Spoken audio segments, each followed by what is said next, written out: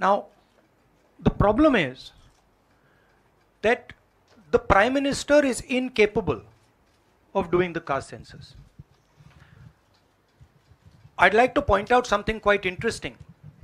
There are four, हमारे चार chief ministers हैं चार में से तीन ओबीसी वर्ग के हैं बीजेपी के दस चीफ मिनिस्टर हैं एक ओबीसी वर्ग के हैं और वो भी कुछ ही दिन में चीफ मिनिस्टर नहीं रहेंगे तो बात बहुत होती है ओबीसी की। मगर नरेंद्र मोदी जी को यह बताना है कि ओबीसी के लिए आपने किया क्या? मैंने पार्लियामेंट में उदाहरण दिया कि 90 अफसरों में से तीन अफसर ओबीसी वर्ग के नरेंद्र मोदी जी ने उसके बारे में कुछ नहीं बोला। उन्होंने यह भी नहीं बोला कि हाँ यह गलत है। उन्होंने बोला, एक शब्द नहीं बोला।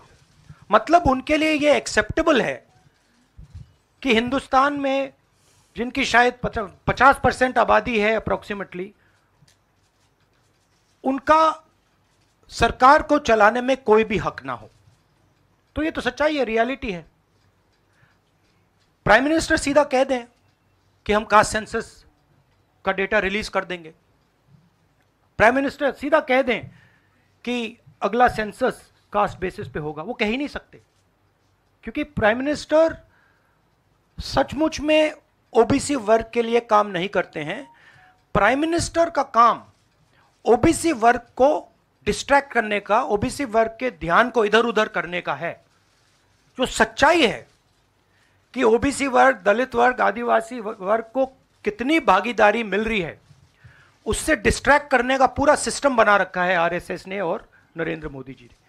और नरेंद्र मोदी जी उनके मेन इंस्ट्रूमेंट है। मतलब सेंट्रल औज़ार हैं उनका यही काम है कि भैया ओबीसी की भागीदारी ना हो ध्यान इधर उधर जाता जाए। हाँ संजय।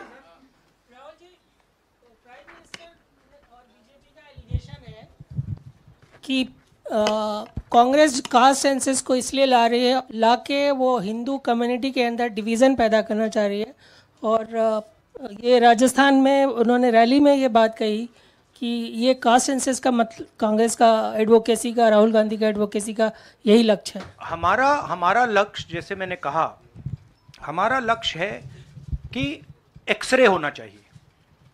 किसी को चोट लगती है, अस्पताल में पहला काम होता है, भैया देखिए, एक्सरे कराते हैं, पता लगाते हैं क्या है, सच्चाई क्या है। हमें लग रहा है कि हिंदुस्तान में जो भागीदारी ओबीसी की होनी चाहिए, दलितों को होनी, की होनी चाहिए, आदिवासियों की होनी चाहिए, हमें लगता है कि वो उनको नहीं मिल रही है। सस्पिशन है। अब हम सिर्फ़ ये कर रहे हैं कि हम एक्सरे कराना चाह रहे हैं, देखना चाह रहे हैं कि क्या ये सच्चाई है इसमें या नहीं। नरेंद्र मोदी एक्सरे कराने से क्यों डर रहे हैं? इसमें लोगों को बांटने की बात नहीं है। इसमें जो हक लोगों का है, उनको देने का है, देने की बात है। अब मुझे यह बात समझ नहीं आ रही कि हिंदुस्तान के जो प्रधानमंत्री हैं, एक्सरे क्यों नहीं करा रहे हैं? एक्सरे करने से क्यों डर रहे हैं? और जहाँ भी जा रहे हैं, आप नोटिस कीजिए, कहीं ना कहीं डिस्ट्रैक्ट करने की बात कर रहे हैं। कभी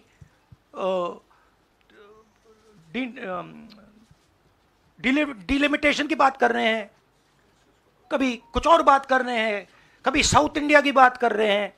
मगर एक भाषण में नरेंद्र मोदी जी ने यह नहीं कहा कि देखिए, जो राहुल गांधी ने कहा है, नब्बे अफसर जो हिंदुस्तान को चलाते हैं, उसमें से तीन लोग सिर्फ़ ओबीसी वर्ग के हैं। यह सच्चाई है यह सच्चाई बीजेपी ने एक्सेप्ट की है।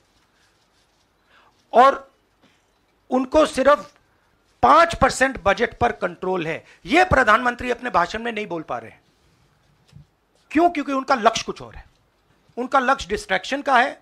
और आप देखना डिस्ट्रैक्शन करने के बहुत और तरीके निकालेंगे। आने वाले समय में एक के बाद एक एक के बाद एक एक के बाद एक डिस्ट्रैक्शन करने के तरीके दिखेंगे आपको।